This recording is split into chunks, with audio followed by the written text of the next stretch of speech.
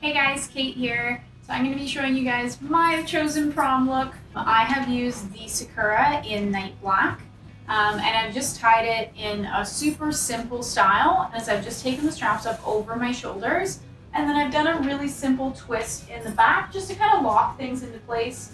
Brought my straps around to the front, twisted them once to create this nice little belt and then tied them in the back. What we've done this time is we've dropped the waistline so we can get that super deep V. I've paired it with some really simple gold accessories um, just because black and gold is forever a classic.